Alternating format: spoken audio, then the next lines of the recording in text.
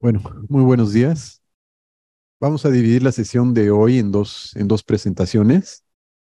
En uh, la primera parte, que es una parte relativamente breve, yo voy a hacer un, un breve repaso de qué es lo que han hecho los sistemas de salud de América Latina para tratar en los últimos 30, 40 años de superar los problemas que genera la segmentación de sus sistemas. Y después el doctor Frank hablará sobre las tendencias a futuro que se observan en materia de las reformas de los sistemas de salud, sobre todo en la región.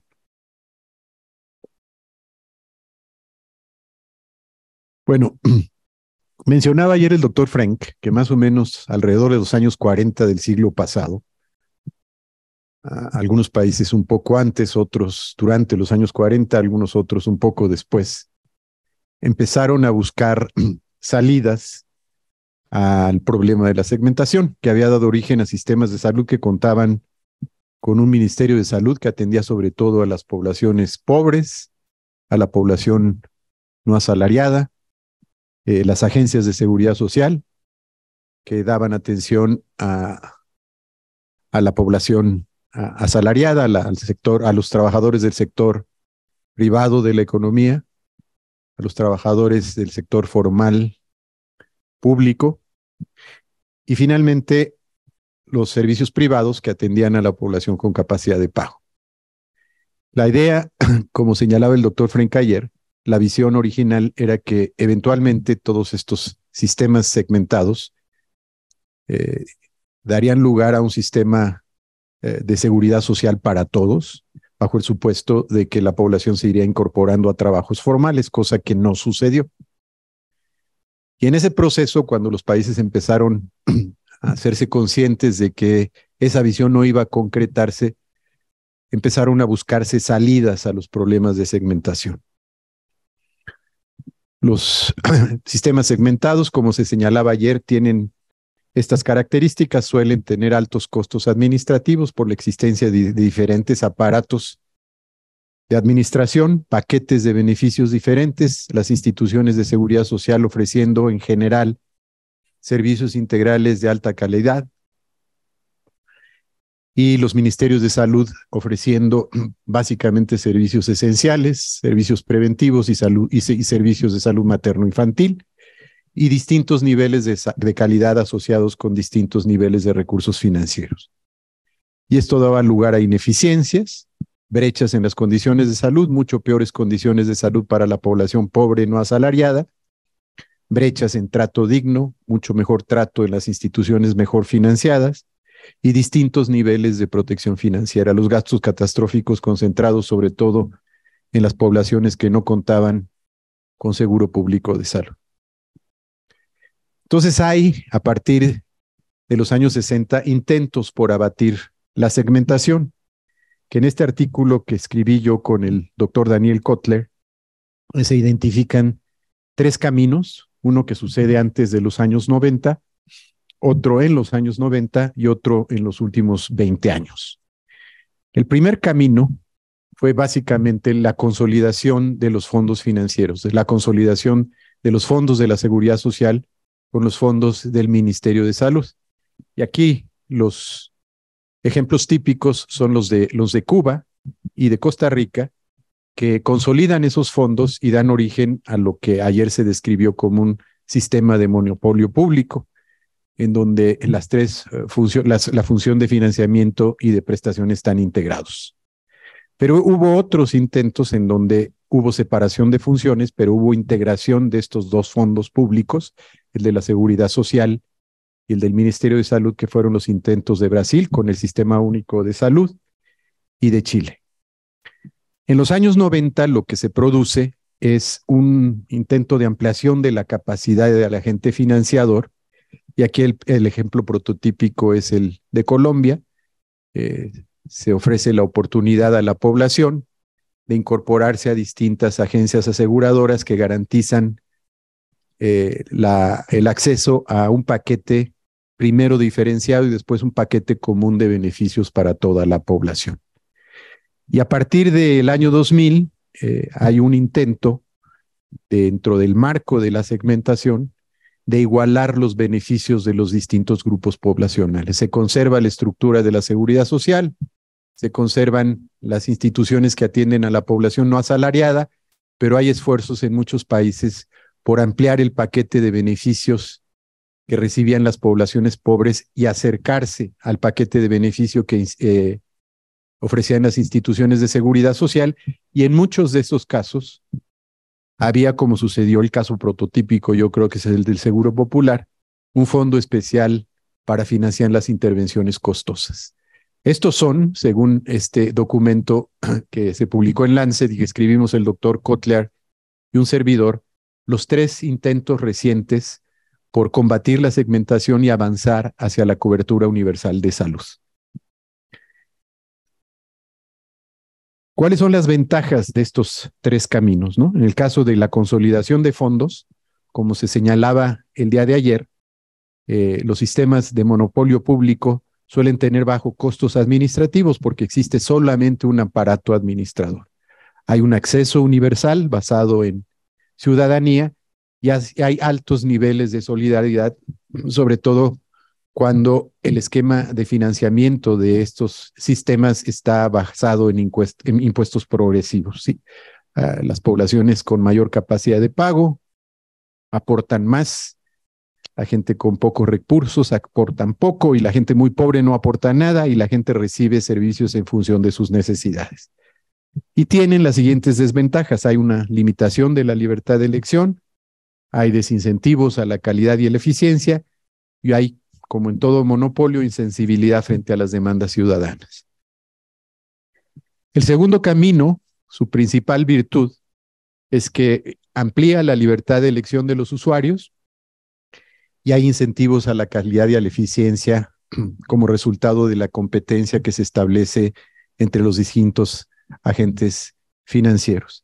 Tiene la desventaja que de la libertad de elección suele limitarse a los grupos de mayores recursos y exige una regulación fuerte que no es una característica común de nuestros sistemas de salud en América Latina y da lugar a lo que se conoce como selección de riesgos, los peores riesgos, eh, la gente muy enferma, los adultos mayores terminan en general atendiéndose en las instituciones públicas. Y el último camino, el, de la homologación de los servicios, tiene eh, la principal virtud de que amplía los beneficios en salud, reduce las brechas que en esta materia existen entre la seguridad social y las agencias que atienden a la población eh, no asalariada, hay una mejora en la calidad de los servicios como resultado de la ampliación de los recursos y los presupuestos. Hay una mejora en los niveles de protección financiera, como claramente sucedió con el caso del Seguro Popular en México, pero tiene el problema básico de que hay un incremento en la segmentación. ¿Qué, ¿Cuál es el, mapa en términos de eh, el objetivo último de estos intentos de desegmentación que es eh, caminar hacia la cobertura universal de salud. Bueno, este es el mapa que se generó hace unos 10 años en un libro de un gran conocedor de los sistemas de seguridad social de América Latina, un economista cubano que hizo casi toda su carrera profesional en Estados Unidos, Carmelo Lago.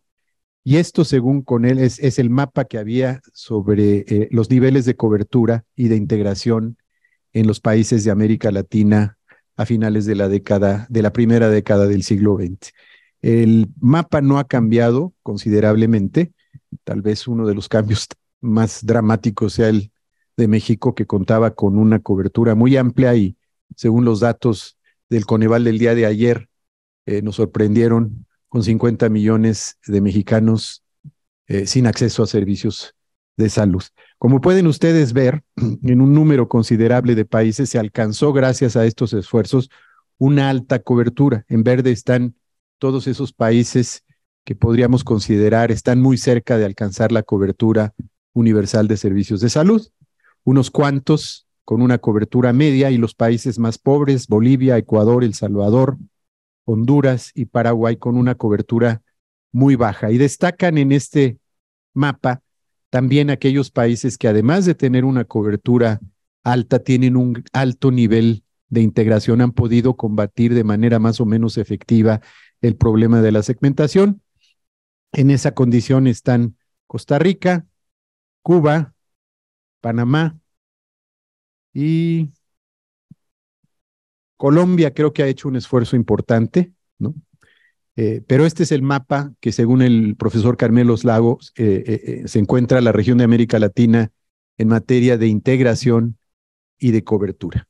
Es importante señalar que cuando se habla de cobertura ya en, este ejercicio académico, se habla no solamente de, acceso a servicios esenciales de salud, como se manejó esta idea durante mucho tiempo de finales del siglo pasado, sino que todos estos sistemas cuentan con mecanismos para garantizar el acceso a tratamientos para las enfermedades que hoy dominan el perfil epidemiológico de la región, que son enfermedades crónico-degenerativas. No sé si tengan alguna pregunta, algún comentario a este respecto. Bueno, entonces seguimos con la segunda parte de, la sesión de hoy que habla sobre las tendencias a futuro en materia de sistemas de salud con énfasis en América Latina. Gracias.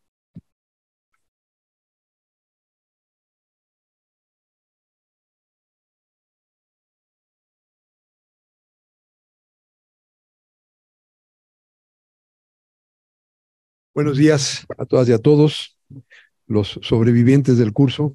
Bienvenidos a la última sesión. Eh, eh, vamos entonces a ver un poco eh, esta, esta visión ya con todos los ingredientes que hemos ido recorriendo desde el martes, los conceptos y los distintos modelos, cómo se ven algunas tendencias y, son sobre todo en términos, como decía el doctor Gómez Dantes, de América Latina. Hay muchísimas otras cosas que podríamos hablar de tendencias futuras y quizás eh, en la sección de preguntas podamos hacerlo. Vamos a tratar de terminar un poquito antes hoy, unos 5 o 10 minutos antes, para que nos podamos tomar una foto.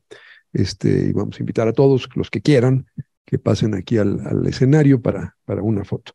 Eh, pero para poder acabar puntualmente a las 12, eh, vamos a, a, tratar de terminar. el mensaje central en el caso de, América Latina es que eh, necesitamos una nueva generación de reformas. Ahorita el, doctor Gómez Dantes habló de estos tres caminos. Eh, antes de eso, obviamente, hubo muchísimos esfuerzos de reforma. El cuadro del profesor Carmelo Mesa Lago es muy instructivo porque tiene los años de distintas reformas.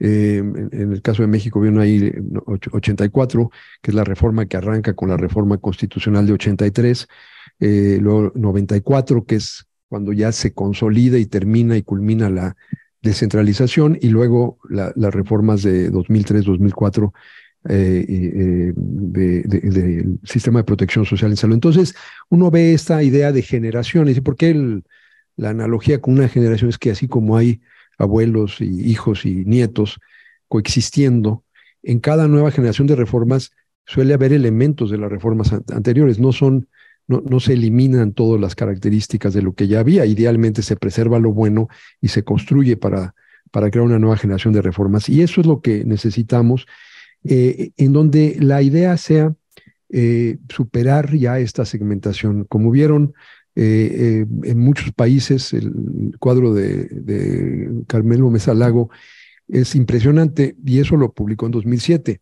porque hay buenos niveles de cobertura, pero solamente son un puñado de países que tienen eh, integración alta o media incluso. La gran mayoría tienen integración baja. Y eso es porque se sigue manejando esta segmentación en base a la posición eh, eh, laboral de las personas, haciendo esta separación de asalariados y no asalariados. entonces, ¿qué ingredientes tendrían eh, eh, lo que hemos visto como esta nueva generación de reformas, algunas de las cuales arrancaron en ese tercer camino que señalaba el doctor Gómez Dantes y otras que han ido surgiendo y afinándose en años recientes. Uno, como un tema general, eh, y por cierto, una aclaración, me voy a referir a América Latina, pero muchísimas de estas mismas reformas están ocurriendo en otros lados del mundo. la, reforma más eh, de mayor impacto en el mundo que ha ocurrido es la que sucedió en China, eh, eh, que, justamente hubo mucho diálogo con, ellos, pero esta idea de, de, dejar de hacer que el acceso al aseguramiento público en salud, público o privado, dependiera del empleo, es lo que ha inspirado a muchas reformas en el mundo. Eh, fue la base de la reforma del presidente Obama en Estados Unidos. Allí había una, una, una, situación muy parecida a la que había en México, con muchas diferencias, pero en el fondo parecida, en el sentido de que el acceso al aseguramiento era dependiente del empleo formal. Y por lo tanto, la gente asalariada tenía a través de, su empleo seguros. En el caso de Estados Unidos son fundamentalmente seguros privados, pero están ligados al empleo.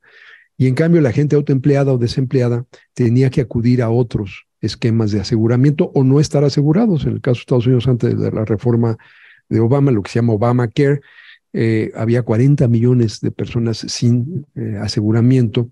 Eh, Obamacare expandió las opciones al desvincular el acceso del empleo eh, y, recortó a la mitad ese número de no asegurados. Luego ya en el gobierno subsecuente se echaron atrás algunas de esas reformas y, ya no se ha bajado el número de 20. Eh, el presidente actual, Biden, trató, sobre todo en el marco de la pandemia, de expander y le, bajó todavía más esos 20. Eh, así es que, pero, pero, la, pero la clave, en la esencia, en la raíz de esa reforma, estuvo la desvinculación del acceso al seguro eh, con respecto al empleo. Lo mismo pasó en China. Había una fracción muy pequeña de la población con seguro y estaba otorgado a través del empleador. Eh, China hizo una reforma similar, muy diferente en sus detalles, pero en la esencia fue separar esas dos cosas. Una cosa es tener un empleo, otra cosa es tener un seguro. No debe una depender de la otra y lograron la mayor expansión de cobertura en la historia de la humanidad. Afiliaron eh, algo así como 600 millones de personas en el curso del año. Inicialmente con un paquete de beneficios muy, mm, mm, mm, eh, muy acotado, sobre todo servicios esenciales, pero luego ha ido creciendo. Eh, la reforma de México fue exactamente el mismo principio.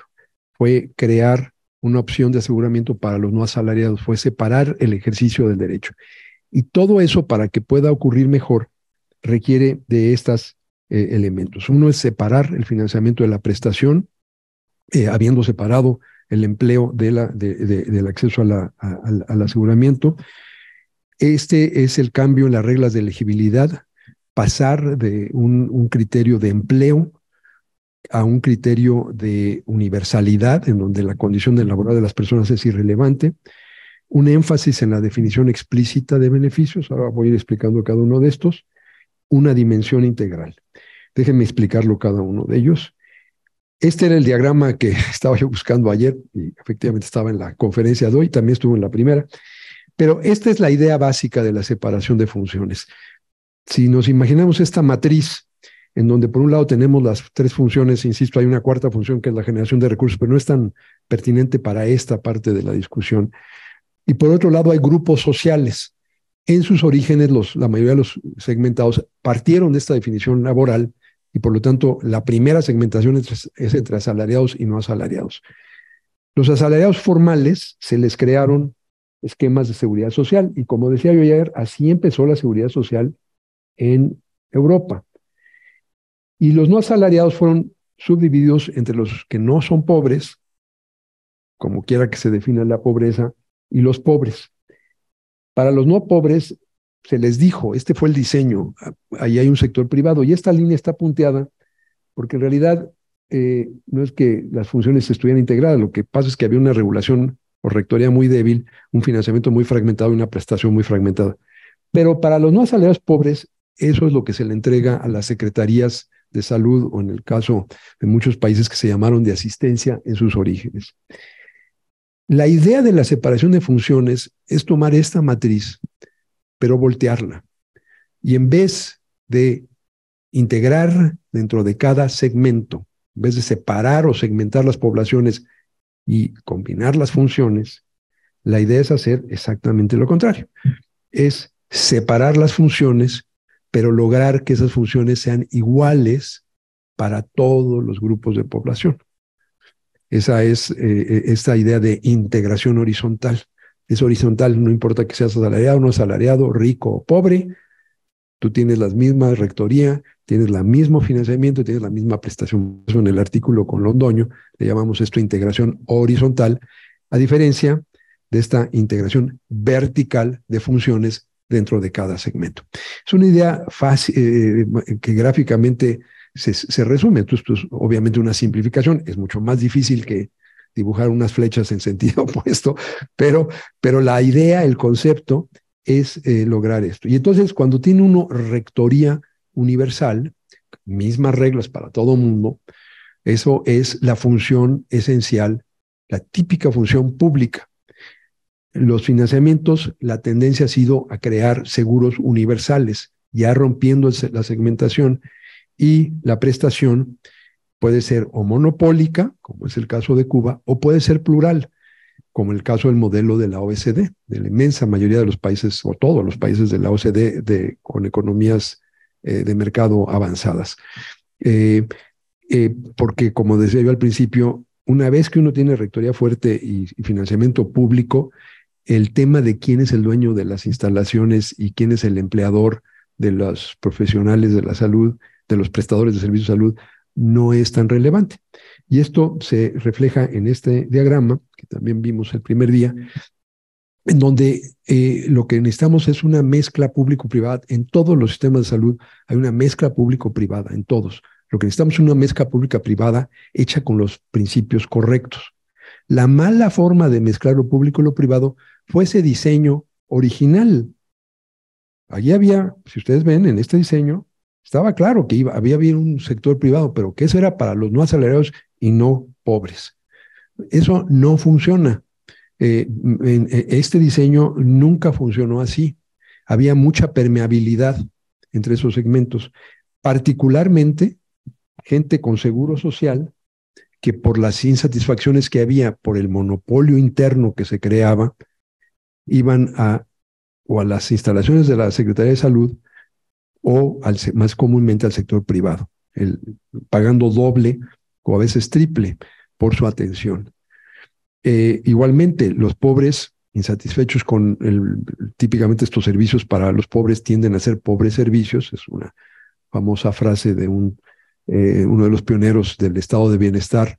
Eh, estos servicios para pobres son pobres servicios, entonces muchos se iban a un sector privado, al sector privado más eh, informal, menos, eh, con menos recursos. Entonces la gente se movía aquí, no, no, no es fácil encajonarlos, pero lo hacía a costa de, eh, de, pagar varias veces por su atención y de generar unos viacruces terribles en un sistema caótico donde supuestamente cada quien estaba en su cajón, pero la gente se movía. Como eso, entonces es una forma no eh, eficiente, ni siquiera diría yo éticamente sustentable, de alcanzar una mezcla público-privada. Es lo primero que se le viene a la gente a la mente. Ah, bueno, bueno, está bien que haya servicios privados, pero solo para los ricos, ¿eh? No, eso no funciona. Este, nunca ha funcionado. Y crear sistemas pobres para pobres es la mejor forma de garantizar que se va a reproducir la desigualdad en vez de a corregir. La forma adecuada es hacerlo por funciones. Y entonces la función de rectoría es la función así eh, emblemática eh, pública. Hay un pequeño pedacito aquí para lo privado que es sobre todo la autorregulación que hacen en algunos países los profesionales de la salud a través de sus agrupaciones profesionales. Por ejemplo, en Canadá, en donde, en donde los médicos y médicas son eh, autoempleados, la asociación médica y, como se les paga por servicio, para evitar la posibilidad de una sobreprescripción, dado que hay un presupuesto fijo, todo mundo este, se autorregula para que, porque si alguno es abusivo y se lleva una tajada más grande de la que le corresponde, pues eso es a expensas de sus colegas, del resto de los médicos y médicas. Entonces hay un elemento chiquito de autorregulación profesional. Eh, hay cuerpos disciplinarios para profesionistas que violan las reglas de éticas, se les puede incluso quitar el permiso para ejercer la profesión, etcétera. Pero es ese pequeño espacio de la autorregulación profesional. Todo lo demás, el elemento de la rectoría, es eminentemente pública. Ayer ya vimos, y les mostré esa gráfica muy ilustrativa, en donde 60% eh, de la, varianza, de la varianza en, el, porcentaje del PIB que es, perdón, el porcentaje del gasto total de salud que es público depende del ingreso per cápita. Mientras más rico es un país, mayor es el porcentaje de su gasto total en salud que es público. Contrariamente a una idea equivocada de que, de que los países de economías de mercado financian privadamente, no es cierto. Es exactamente al revés. Es en los países con economías débiles donde la gente está pagando de su bolsillo, que es la peor forma del financiamiento privado. Entonces, el financiamiento es preponderantemente público en todos los sistemas, aún los de la OCDE, hay algo de copagos o coaseguros, hay algo de gasto, pero es minoritario. La prestación es donde ya hay pluralismo y, eh, eh, eh, por, por, lo que decía, vemos en todos estos sistemas que mientras la rectoría sea pública y el financiamiento sea público, el que los prestadores sean públicos y privados no es tan relevante. ¿Okay? Sobre todo cuando, como es el caso de la mayoría de los privados, son organizaciones civiles sin ánimo de lucro. Pero aún si tuvieran ánimo de lucro, si tienen que comportarse dentro de los márgenes de un presupuesto, de una capitación o de un pago por procedimiento que está, que está tabulado y que es igual para todos los prestadores, eso no es relevante, no es muy relevante. Más que sobre bases ideológicas. Si hay gente que por ideología no le gusta lo privado, entonces no les gustan esos, esos esquemas. Pero sobre las bases estrictamente técnicas, lo que define el carácter público o privado de un sistema de salud no es la prestación ni la generación de recursos, es la rectoría y es el financiamiento. Y creo que en los modelos de la OCDE que vimos en, en la segunda clase, si a cualquier persona medianamente informada se le preguntara, ¿el sistema inglés es público o privado? Diría es público. El sistema canadiense es público o privado, diría es público. Sistema danés o, sueco es público o privado, dirían es público. Pero en todos esos hay prestadores privados y hay generadores de recursos privados. Escuelas, universidades que forman profesionales privados, empresas farmacéuticas privadas. ¿Por qué decimos que son públicos? Porque la rectoría es fuerte y es pareja para todo el mundo. Y esa es pública, está en manos del gobierno y de agencias públicas autónomas y porque el financiamiento es público. Entonces, este es el primer gran principio de la separación de funciones. Y tiene esa lógica, eh, como digo, no es un tema ideológico, es un tema que técnicamente eh, nos permite entender eh, la mezcla público-privada. Cambios en la regla de elegibilidad. Aquí el gran cambio, la gran transición en la nueva generación de reformas es pasar de la protección social en salud entendida como una prestación laboral a entenderla como un derecho ciudadano para todo el mundo. Es decir, pasar de ese principio de prioridad socialmente percibida, que entonces siempre coexiste en sistemas cementados con el principio de pobreza, el segmento que se le deja a los ministerios de salud, y el principio de poder de compra, el sector privado, pasar al principio de ciudadanía en donde todo el mundo ejerce el mismo derecho de la misma manera. Y esta es la transición clave. En México es complicada porque de hecho en la Constitución de México hay una contradicción. El artículo 123 dice que la seguridad social, incluyendo las prestaciones en materia de servicio de salud, son una, un derecho laboral. Está en el 123. De ahí emana la ley del Seguro Social. Y desde la reforma de 1983 al artículo eh, cuarto de la Constitución, cuando se le agrega el párrafo tercero al artículo cuarto, que reconoce el derecho a la protección de la salud, dice que es un derecho ciudadano. Entonces, lo primero que hay que hacer en algún momento entre las muchas reformas que se le han hecho a la Constitución es ya eliminar esa contradicción y tener un solo artículo que definitiva y de manera no ambigua establezca que la salud puede ser además una prestación, pero en su esencia es un derecho ciudadano. Tercero, eh, este énfasis en la definición explícita de beneficios. Lo hemos ya platicado mucho a lo largo del curso. Es eh, movernos de eh, definiciones implícitas porque siempre hay prioridades, siempre hay cosas que no se cubren y siempre hay decisiones que se tienen que tomar. Es mejor que esas decisiones se tomen como parte de un proceso deliberativo a que se tome como parte de decisiones burocráticas de, restringir la, las, o, diferir la demanda, la satisfacción de la demanda de servicios, haciendo listas de espera, colas, este, cerrando los, los horarios, creando horarios incompatibles, todas estas cosas que usan las organizaciones que tienen un exceso de demanda, organizaciones públicas, para eh, diferirla, que son mecanismos de racionamiento burocráticos. Es mejor hacerlo de manera transparente, racional y deliberativa.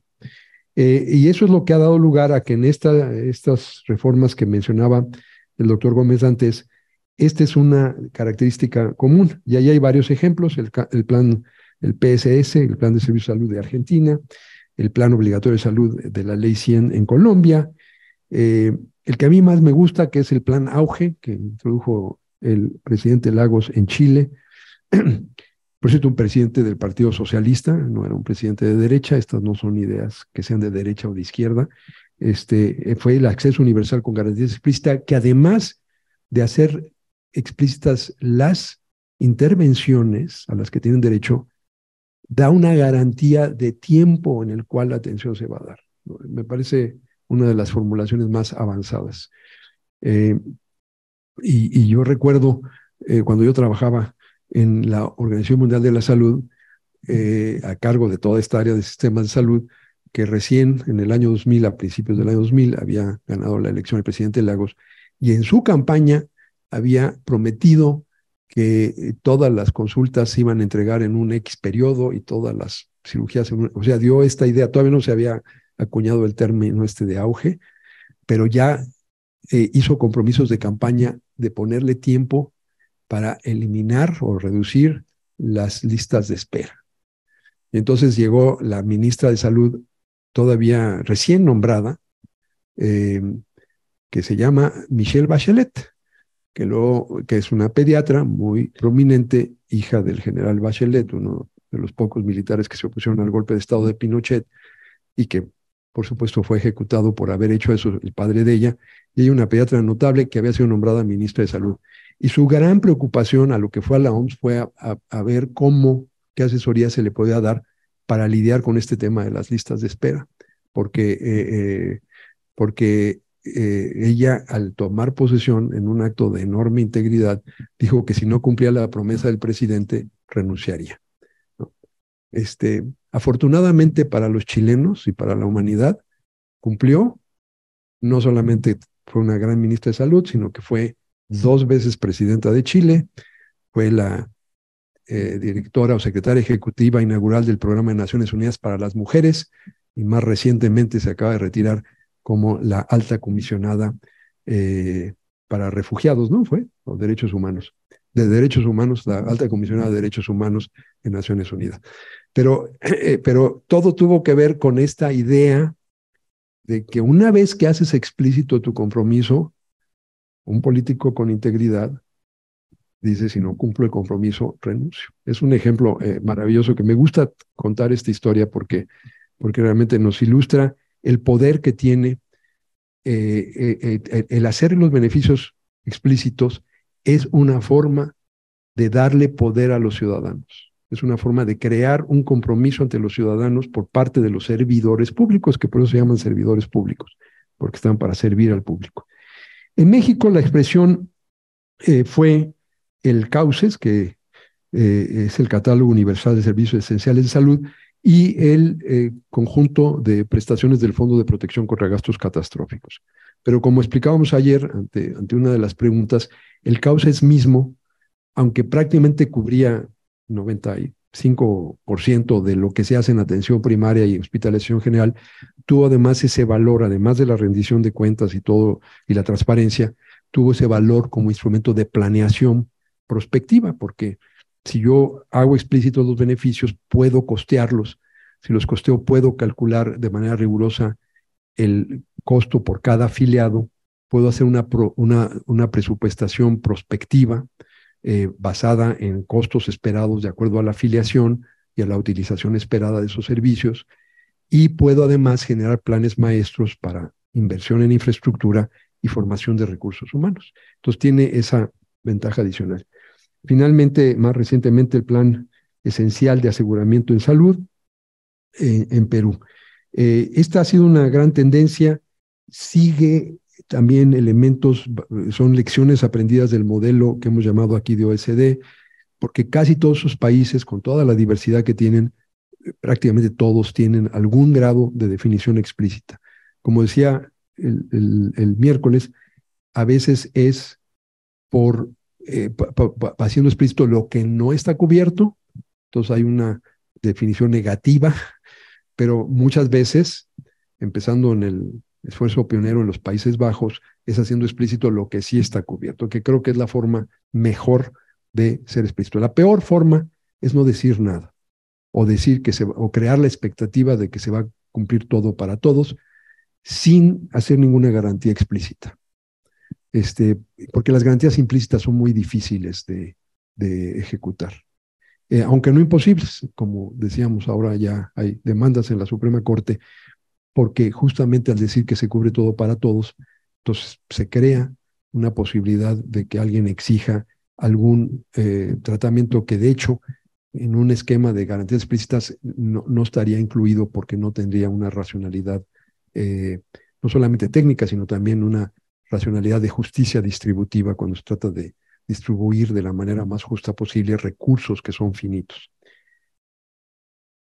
Finalmente es la dimensión integral de las reformas. Ha habido muchas reformas parciales, eh, todo, todo, eso es valioso, pero hemos pasado de reformas que se enfatizaban en la prestación de servicios esenciales, sobre todo la atención primaria y la atención eh, hospitalaria lo eh, básica, ¿no? por eso les llamamos esenciales, a una idea de reformar, en primer lugar, toda la prestación, no nada más los llamados servicios esenciales, sino la totalidad de los servicios, y reformar no solo la prestación, sino todas las funciones. Reformar la rectoría, reformar el financiamiento, reformar desde luego la prestación y reformar la generación de recursos. Esas son las reformas más eh, completas, digamos, porque entonces se pueden armonizar los distintos componentes. Son las más difíciles y, eh, normalmente requieren mucho tiempo cuando son reformas integrales, a veces décadas para lograrse. Eh, yo recuerdo en el caso de, México, cuando se hizo la reforma de hace 20 años, eh, al, cambiar la lógica presupuestal, y el presupuesto ya no era un presupuesto inercial, había un componente que todavía era inercial, pero todo el dinero fresco venía, que, que, fue mucho, porque fue un punto porcentual del PIB, venía atado a la afiliación. Eso era un esquema que le llamamos de presupuestación democrática, porque el dinero seguía a la gente. En la presupuestación burocrática, el presupuesto sigue a las decisiones de funcionarios no estoy usando la palabra burocrática como despectivo, sino como descriptivo de que un funcionario decide dónde manda el dinero sobre bases que pueden ser o no transparentes, pero es una decisión de, ese, de esa persona o grupo de personas. En la presupuestación democrática, que es lo que hace la presupuestación, por ejemplo, sobre una base per cápita, el dinero sigue a la gente. Bueno, eso requiere sistemas completamente diferentes de información, porque hay que poder rastrear a la gente, hay que poder ver dónde está la gente. Y cuando los sistemas están basados no en el lado de información, no en el lado de la oferta, sino en el lado de la demanda, o sea, no en el lado de las instituciones, sino en el lado de la población, son más difíciles. Porque, pues sí, es fácil contar cuántas camas tengo, contar cuántos médicos y enfermeras tengo bajo en mi nómina, pero seguir los trayectos de la gente es muy complicado. Uno de los problemas serios de los sistemas segmentados es que la gente misma se mueve entre los segmentos. Entonces, aquí en México es muy común. Una persona, por ejemplo, sobre todo el, empleo asalariado temporal, es muy común. Muchísimos trabajadores de la construcción están en una obra, entonces son asalariados, cotizan el seguro social, tienen seguro social, se acaba la obra, pasan un rato trabajando por cuenta propia, ya no están en el Seguro Social, dejan de cotizar. Luego regresan nuevamente y, vuelven y pasan periodos, la gente se mueve en el espacio. Entonces, cuando uno ata el, aseguramiento al empleo, los sistemas de información no están calibrados para seguir esos trayectos eh, individuales, ¿no? Vitales de las gentes, ¿no? Eh, entonces, estas reformas de todas las funciones, por ejemplo, en la función, se hizo la pregunta varias veces de los sistemas de información, según la arquitectura del sistema de salud, va a requerir distintos sistemas de información. Y esa es la complejidad y por eso toman tanto tiempo. Una cosa adicional es que, en, sobre todo en la función de generación de recursos, lo que estamos viendo ahora, y eso es parte de esta nueva generación de reformas, y nuevamente la necesidad de un enfoque integral, es que estamos en un momento de convergencia de múltiples revoluciones tecnológicas que tienen un enorme potencial de revolucionar eh, toda la atención a la salud, pero empezando por la atención primaria. Eh, que típicamente ha sido, eh, mucha gente ha, escrito que hemos confundido la atención primaria con la atención primitiva. Eh, y, creemos que atención primaria quiere decir baja intensidad tecnológica. Entonces, centro de salud, el trabajador de salud comunitaria, unas cuantas vacunas, unas cuantas intervenciones, paquetes chiquitos, este, con, con, baja intensidad tecnológica. Y en cambio, la alta tecnología la asociamos con las unidades de alta especialidad. Esa eh, distinción eh, se está erosionando rápidamente. Eh, la primera gran revolución tecnológica es en las telecomunicaciones, sobre todo con el arribo del, Internet y redes de conexión con presencia muy amplia geográfica en un país como, país como México, que todavía tienen vacíos, pero que en general tienen una cobertura bastante amplia. Entonces, como lo vimos en la pandemia de manera acelerada, no lo creó la pandemia, pero la pandemia lo aceleró, la telesalud se vuelve una opción.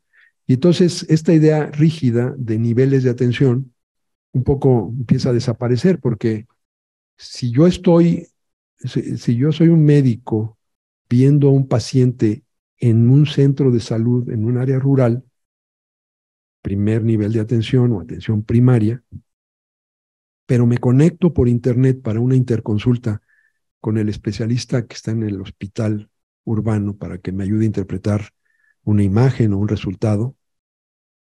¿Eso qué es? ¿Estamos en el primer nivel de atención o estamos en el tercer nivel de atención? La pregunta ya se volvió irrelevante. Estamos en una red conectada de servicios, no niveles jerárquicos separados. Este, eh, esa es la primera revolución. Y esa revolución, por cierto, acompaña a la revolución de ampliar los espacios eh, del encuentro, venciendo la fricción del espacio. Porque ahora una persona puede no tener que salir de su casa, como lo vimos en la pandemia, para tener acceso a una consulta. Con los avances de la telemetría es ahora posible incluso estar captando signos vitales en forma remota le agregamos la presencia también ya omnipresente de lo que todos traemos aquí, que es una pequeña laboratorio que está monitoreando nuestros signos vitales 24 horas al día. Es una segunda revolución tecnológica de, la, salud digital que está generando, generando información constante. Se combina con una tercera revolución que es la habilidad del manejo de cantidades masivas de datos, de megadatos. Y entonces empezamos a identificar patrones en tiempo real y continuo, 24 horas del día, recibiendo variables fisiológicas, ubicación geográfica de millones de personas y, teniendo la capacidad de analizar eso, esos datos. Le agregamos a eso la revolución genómica, donde además ahora podemos correlacionar variables eh, eh, ambientales, exposiciones eh, ambientales con riesgos genómicos y correlacionarlos, y la genómica ha sido hecha posible por los avances en las ciencias de la computación y la habilidad de manejar grandes bases de datos. Y luego a toda esa convergencia le agregamos ahora la inteligencia artificial. Eh, estamos en, en, un momento de revolución, de convergencia de revoluciones tecnológicas, que si se aprovecha bien, puede ser un gran instrumento para dar un paso hacia adelante cuántico en el acceso y la calidad de los servicios de salud y la capacidad de responder a las necesidades individuales. Esto no es lo que se ha llamado medicina de precisión, que típicamente se refiere al componente genómico y proteómico y metabolómico.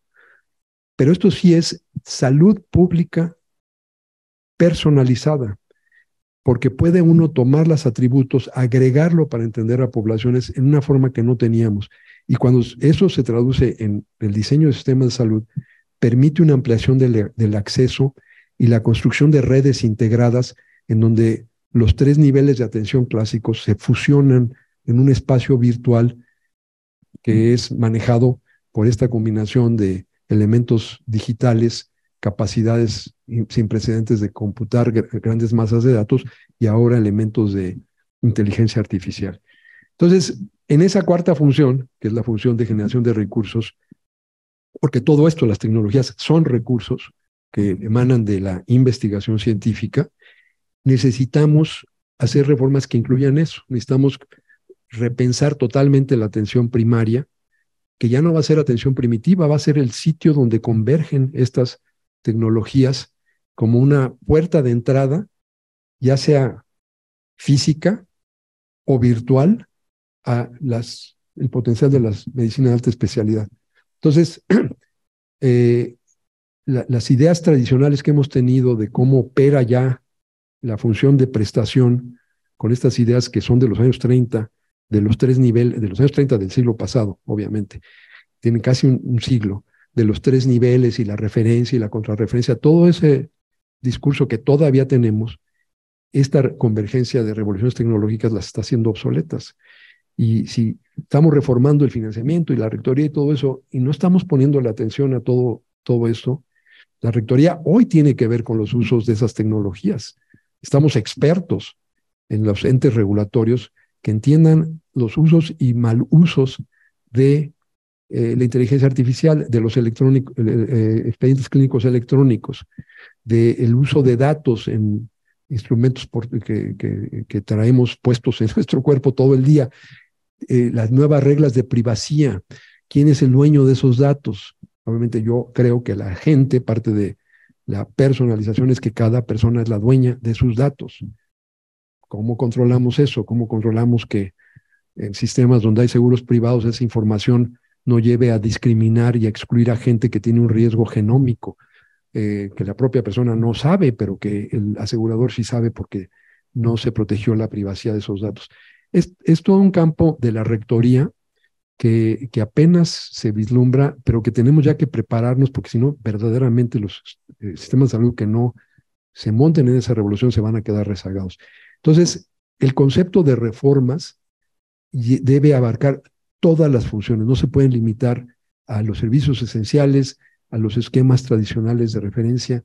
Claro que necesitamos eso, ese es el elemento, eh, el cimiento del sistema de salud, es tener redes de instalaciones físicas en la comunidad con participación, los viejos principios de alma ata de la atención primaria, no es sustituir eso, es sobre esos principios y esa base construir todos estos elementos de, estas revoluciones tecnológicas, igual que con la revolución tecnológica que salió de los descubrimientos de la microbiología, empezamos a incluir en el armamentario tecnológico de los trabajadores de salud los antibióticos. Es, es lo mismo, siempre estamos incorporando la innovación y los países que lo hacen anticipadamente logran mejores resultados. Eh, entonces, ¿qué necesitamos en concreto? Eh, esto está también tomado un artículo de Lancet, que fue una serie sobre Latinoamérica, donde estuvo el artículo que mencionó el doctor Gómez antes, antes, con esa visión histórica. Yo hice una especie de síntesis. Y son estos elementos, y están, creo que está en la lista de lecturas, ¿no? Evitar el establecimiento ya de sistemas para distintos grupos poblacionales. Eh, ya ya cualquier país que empiece algo debe evitar estar separando a los grupos sociales, crear leyes que dicen esto es nada más para estos, eh, eh, eso ya no se puede hacer, ya tenemos mucha experiencia que no debemos de continuar la segmentación. la urgencia de eh, reducir los gastos de bolsillo. no podemos esperar a que los países se vuelvan ricos en esa correlación tan poderosa, ¿no? Porque alguien decía, bueno, esperemos a que tengamos el ingreso de Dinamarca, entonces ya no habrá gasto de bolsillo. No, porque eso nos va a tomar más tiempo que crear fondos de protección financiera para la gente. Tercero, eh, em, eh, movilizar eh, recursos adicionales, casi todos estos sistemas, no todos, pero casi todos están subfinanciados, algunos de hecho no, Colombia, Brasil, Argentina, tienen ya como porcentaje del PIB, están en más o menos 10%, ayer lo vimos en Cuba igualmente, pero la mayoría de los países de la región y de los países en vías de desarrollo del mundo están subfinanciados. Y aquí en lo que hay que insistir es que cualquier esfuerzo de expansión debe estar basado en impuestos generales, eh, más que eh, impuestos a la nómina, que es como se empezó el financiamiento de la seguridad social.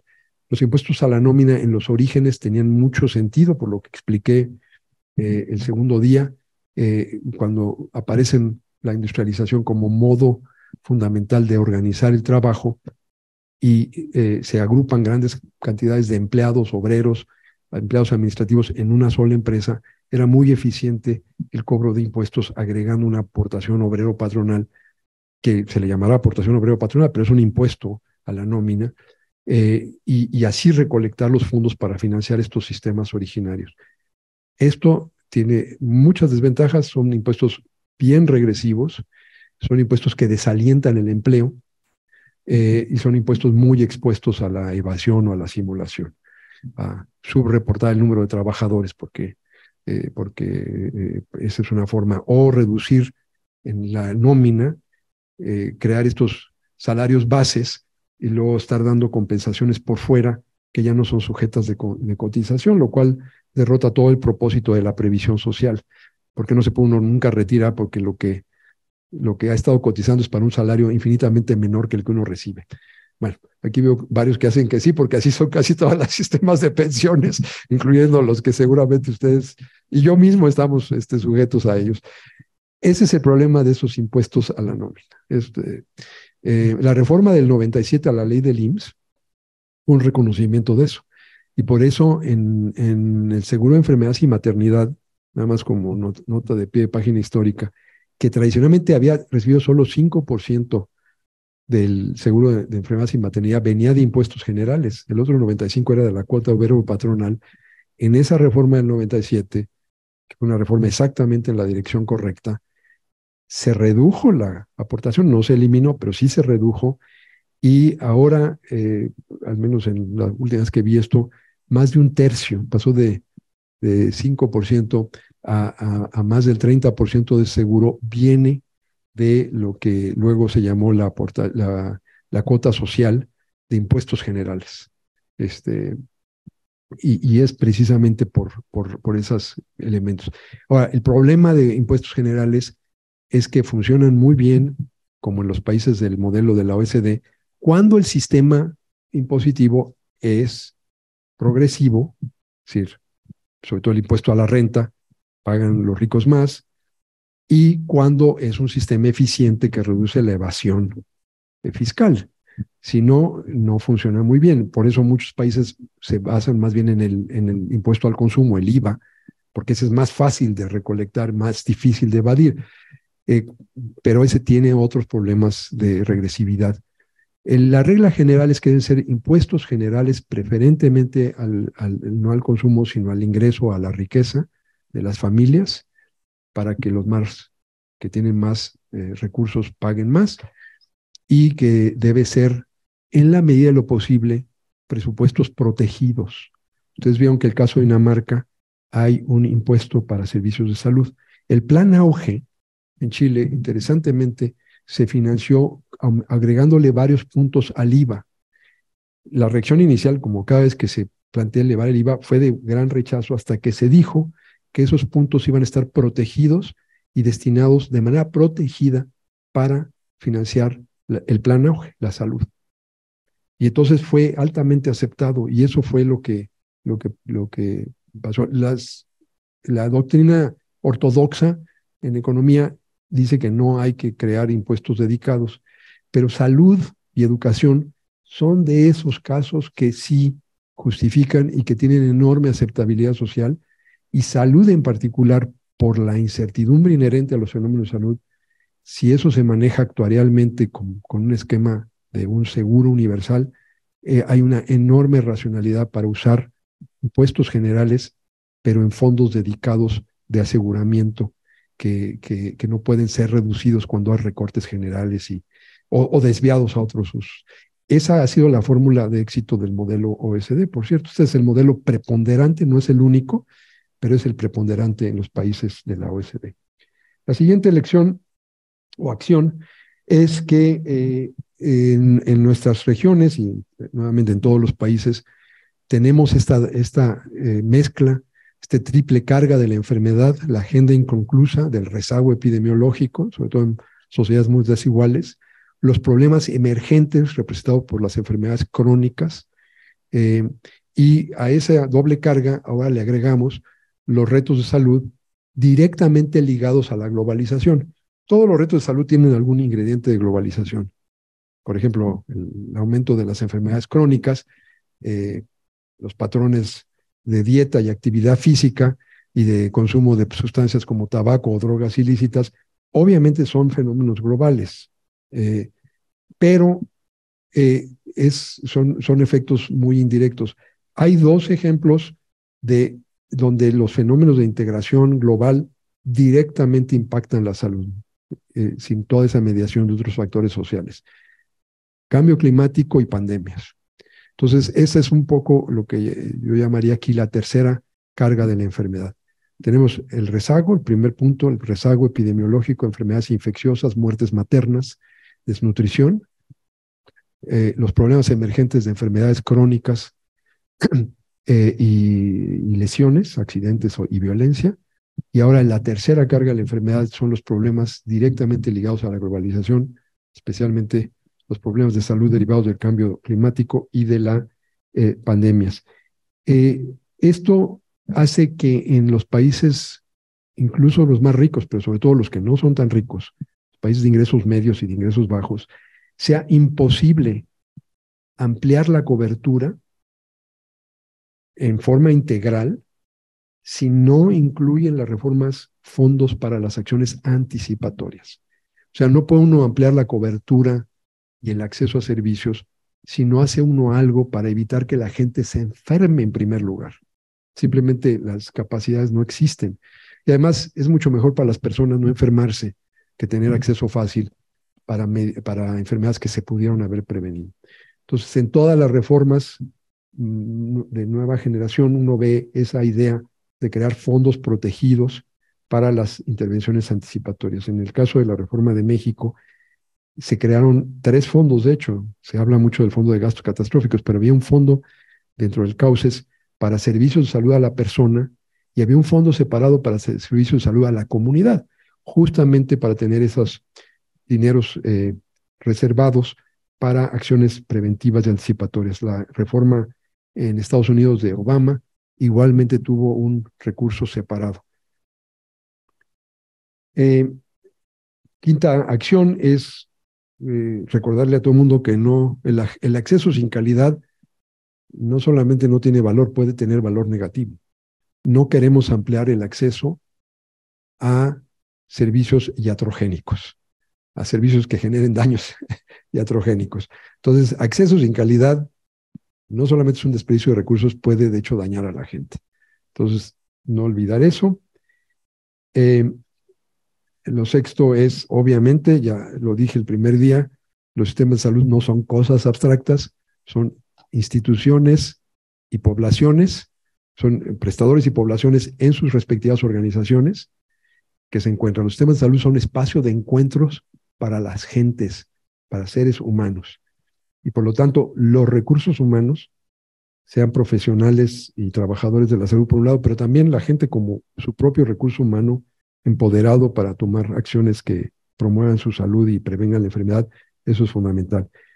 Fortalecer todas las funciones, no nada más eh, concentrarse en la prestación, eh, y crear redes de servicios redes conectadas, con una gestión local. Por eso decía yo, esos principios de que los centros comunitarios, los hospitales, gestionados localmente, no con gestiones centralizadas, pero en redes integradas de servicio que ahora las revoluciones tecnológicas nos permiten integrar de mejor manera.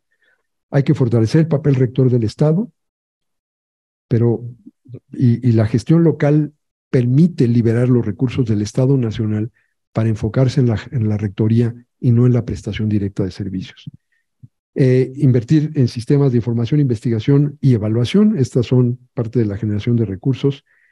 Promover la transparencia, la rendición de cuentas y la participación ciudadana. O sea, deben ser sistemas responsables en el sentido que responden por sus acciones. Y eh, recordando que el gobierno no tiene dinero. El gobierno cobra impuestos de los hogares y de las empresas. Ahí es donde está el dinero. El gobierno legítimamente y cuando tiene buenos sistemas fiscales con justicia distributiva, recaba el dinero, pero no, el, presidente no tiene dinero, el gobernador no tiene dinero. El dinero lo tiene la gente que se lo entrega voluntariamente y a veces involuntariamente al gobierno a través del pago de sus impuestos y por lo tanto el gobierno tiene la obligación, no es una concesión, es una obligación de reportar, de dar cuentas. Y lo hace directamente a la gente e indirectamente en las democracias representativas a través de los representantes populares. Por eso el presupuesto, la asignación de presupuesto y la rendición de cuentas se hace ante el Poder Legislativo, porque esos son representantes del pueblo. Y también lo hace directamente a la, a la gente y a través de sus organizaciones, de las organizaciones de la sociedad civil. Esas son, pues, algunas de las eh, grandes acciones.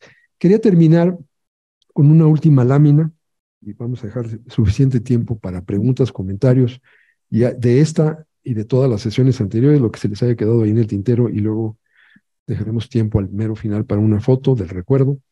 Pero me pareció pertinente no pasar por alto. Esta es la segunda vez que doy este curso, pero la primera vez fue antes de la pandemia. Entonces, este, eh, el curso se interrumpió en 2020 y 2021. El año pasado dimos el de conceptos fundamentales y este de sistemas es la primera vez que lo damos desde antes de la pandemia. Y la pandemia sí cambió el mundo y no nada más durante la duración de la pandemia. Si algo sabemos del récord histórico es que las pandemias generan cambios, transformaciones económicas, culturales, sociales y políticas de largo alcance.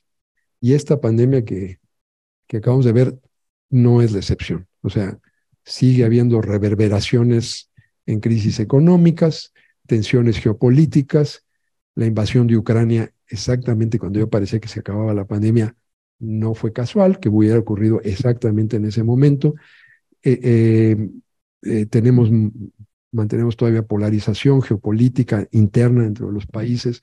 Entonces, nuestra experiencia reciente no va a ser una, una excepción. Y por lo tanto, es importante aprender las lecciones para los sistemas de salud, eh, porque ayer hubo alguna pregunta sobre esto. Eh, para, hubo gran variación en el desempeño de los países em, en frente eh, en la respuesta a la pandemia pero en general, si tuviéramos que hacer una generalización, diríamos que los sistemas de salud del mundo y el sistema global de salud no estuvieron a la altura del reto. O sea, simplemente hay que decirlo porque es una pandemia que al final del día está dejando las estimaciones más recientes y quizás conservadoras todavía, 20 millones de muertes en exceso. 20 millones. Sí, porcentualmente comparado con la pandemia de influenza de 1918-19, eh, que posiblemente mató a 50 millones, pero en un mundo con muchísimo menos gente, parecería que no es tan letal. Pero si lo comparamos no con el número de gentes, sino con el potencial tecnológico y el conocimiento científico que teníamos en 2020, comparado con 1918, esta posiblemente sea la pandemia más mortífera en relación al conocimiento que teníamos y los medios tecnológicos que teníamos para haber evitado esas muertes. Entonces, mm, la calificación que se saca eh, Homo sapiens enfrentando a SARS-CoV-2 no es buena eh, en general. Muchas y muy brillantes excepciones. Entonces, tenemos que aprender las lecciones porque esto es como como muchas emergencias, el que pasó una no quiere decir que no va a pasar otra. Entonces, hay, hay que aprender. Primera lección que va más allá de los sistemas de salud, pero los incluye, es que las prácticas no sustentables tienen consecuencias desastrosas para el planeta, para otras especies y para los humanos. La pandemia no es un fenómeno natural, parece que como es un microbio que afecta a los humanos, es algo natural, inevitable en el mundo. Es antropogénica, es tan antropogénica como el cambio climático. Todas estas pandemias, incluyendo la de COVID, son zoonosis, que eh, son virus que al romper o al brincar la barrera de las especies se vuelven nuevos para ahora el huésped humano, nunca lo había enfrentado, y una vez que se establece transmisión de persona a persona en un mundo interconectado, es casi inevitable que haya una pandemia. Pero ¿por qué se dan esas zoonosis? Es por las prácticas destructivas de los humanos con respecto a las otras especies con las que compartimos el planeta. Son las prácticas no sustentables de cría de, por ejemplo, aves de corral, por eso la influenza aviar, de eh, eh, ganado, de cerdos, por eso tenemos la, la influenza porcina. Eh, son los mercados húmedos, la comercialización en condiciones de hacinamiento, de falta de higiene, de promiscuidad entre humanos y animales vivos y muertos, como el mercado de Wuhan, donde, aunque todavía hay controversia, pero ah, al menos una de las explicaciones, quizás la dominante ahora es que ahí se originó. Este, eh, entonces, yo sí pienso que no hemos aprendido eso. Después del SARS, en 2003, que salió de un mercado húmedo en China, que casi 20 años después haya vuelto a ocurrir lo mismo, quiere decir que no estamos aprendiendo las lecciones. Necesitamos cambiar las formas en que nos relacionamos. El cambio climático y la pandemia más reciente tienen un origen común, que parezcan dos cosas diferentes. El origen común son las prácticas no sustentables, la forma en que los humanos abusan de su planeta y de su relación con las demás especies. Y eso incluye la forma en que organizamos nuestros sistemas de salud. Los sistemas de salud son de los principales contaminantes cuando no están bien organizados, tanto el desecho de material biológico como la energía que utilizan, son sectores grandes de la economía, ya decía yo, el sector más grande de la economía más grande. Tenemos que empezar si somos realmente instituciones de salud, los sistemas de salud, siendo instituciones que se manejan con conciencia sobre la huella, eh, eh, eh, el impacto ambiental que generamos. Luego, la segunda gran lección es que se creó un falso dilema entre metas de salud pública y metas económicas. Y eso dio lugar a, cuando se hizo el confinamiento, a un retorno precipitado a, la actividad económica. Y mucho de eso fue porque en la toma de decisiones se creó como un dilema entre o proteger la salud o proteger a la economía. Y ya lo comenté en un momento anterior del curso, cuando se crearon fechas arbitrarias y sin ver las condiciones y se reabrió la economía, eso lesionó la salud, seguro, pero tampoco ayudó a la economía, porque al final esa gente se enfermó y se murió. Y también, por el otro lado, cuando se prolongaron los confinamientos de manera innecesaria, eh, eh, se, lesionó la economía o la educación, por ejemplo, al prolongar la, instrucción remota y tampoco se mejoró la salud. Entonces, si hay una gran lección es que estos dos objetivos se deben perseguir de manera paralela, simultánea, sinérgica, idealmente sinérgica, y no como si fueran dos eh, objetivos en competencia. La tercera lección es lo que ya sabemos. La pandemia eh, afectó de manera desproporcionada a las poblaciones vulnerables, los llamados trabajadores esenciales, en donde están sobre representados los grupos de menores ingresos. Y la verdad es que en los pocos países que tenían planes de respuesta, este tema no estaba incluido. Entonces, a futuro vamos a tener que tomar en cuenta la presencia de grupos altamente vulnerables, ya sea por edad, como fue en el caso este. Eh, eh, en otras pandemias los grupos de edad han sido diferentes. La pandemia de, de 1918 afectó de manera especial a gente joven, Esta afectó a gente mayor, pero en todos los casos, la gente que está en condición de vulnerabilidad, por ejemplo, la gente que no podía trabajar desde su casa, que no podía confinarse porque su trabajo le exigía estar fuera, esas personas, esos grupos tienen que tener una consideración especial en los planes de respuesta, por ejemplo, haciendo acopio de equipo de protección personal eh, y, priorizando a, esos llamados trabajadores esenciales que, tuvieron un papel central en proteger, protegernos a los demás y muchas veces a expensas de su propia salud y vida. Entre ellos, por supuesto, el primero que hay que mencionar es el personal de salud, tener eh, muy, mucha claridad de, lo que se necesita para protegerlo. Eh, en el campo ya global hay varias lecciones. Eh, ha habido siempre esta discusión entre enfermedades transmisibles y enfermedades crónicas no transmisibles. esa es otra falsa dicotomía. Ya no me voy a extender en eso. El doctor Gómez de Antes y yo hemos escrito varios artículos diciendo que ese es un falso dilema, porque muchas enfermedades que parecen ser transmisibles eh, que parece ser no transmisibles, resulta que son transmisibles, muchos cánceres tienen un origen infeccioso, etcétera. Pero cuando se trata de formular la agenda, se vuelve algo peligroso. Y el caso concreto que vimos en la pandemia es que al pensar que esto es una enfermedad infecciosa y, y centrar todos los recursos en la atención de la emergencia, se nos olvidó en muchos países, en los países que tuvieron peores respuestas, que la gente se siguió enfermando de otras cosas. Eh, entonces, en, los programas, la, respuesta inicial correcta efectivamente era darle prioridad a la atención de los pacientes eh, y restringir la atención, excepto a casos urgentes, porque además ir a las instalaciones de salud era un factor de riesgo y además la gente tenía miedo. Pero eso debió haberse acotado a un momento muy específico y haber empezado desde el principio a preparar a las clínicas, los centros de salud, los hospitales, a recibir a pacientes de todo lo demás. Particularmente lo que vimos, y hay unos datos muy impresionantes en, muchos países, incluyendo en México, fue la caída de procedimientos de detección temprana de enfermedades eh, no transmisibles, crónicas no transmisibles. Cayeron las mamografías, eh, las, eh, todas las pruebas de detección temprana, caen de manera dramática.